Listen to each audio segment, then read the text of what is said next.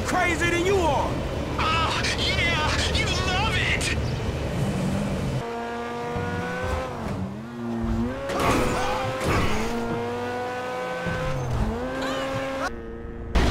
All right.